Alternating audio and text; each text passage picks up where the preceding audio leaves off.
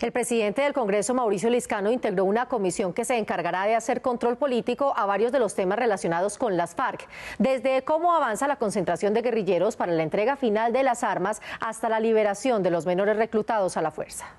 Senadores de la Comisión de Verificación creada por el presidente del Senado, Mauricio Liscano, para realizar un seguimiento de la entrega de los menores por parte de las FARC, aseguraron que las cifras no coinciden, por lo que primero están verificando el número real de menores que estarían aún en poder de las FARC. O sea, nos vamos a reunir fundamentalmente con la Comisión de Verificación y con la Comisión de Reincorporación. La idea sí es, eh, en cierta forma, eh, poner sobre la mesa qué está pasando, quién está incumpliendo, en qué se está incumpliendo y de esa forma poder contribuir a que se resuelvan los problemas y se agilice el proceso. Además de los menores de edad en las FARC, los senadores anunciaron que la subcomisión también realizará la verificación y acompañamiento a otros temas relacionados con el proceso de paz. Las zonas veredales, cómo están funcionando, la presencia del Estado en las zonas que ha dejado las FARC y lo que está pasando con los asesinatos de los líderes sociales. El senador Iván Cepeda, integrante de la subcomisión, expresó su preocupación por el asesinato de líderes sociales y aseguró que también este tema será prioritario por parte de la subcomisión. Datos muy, muy alarmantes, más de 30 personas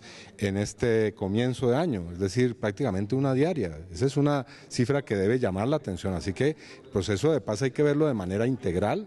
Los senadores aseguraron que entregarán un informe al Congreso sobre el trabajo realizado y que, de ser preciso, se desplazarán a las zonas veredales para realizar el seguimiento. No va a ser, creo yo, un trabajo de una semana, sino espero que sea una, un trabajo continuo en los próximos, inclusive meses. Pues ya la Comisión de Islas necesita más información, si es necesario o no viajar a las zonas, si es necesario reuniones adicionales. Por ahora vamos a adelantar estas dos. El primer informe de la subcomisión se realizará en la próxima plenaria del Senado.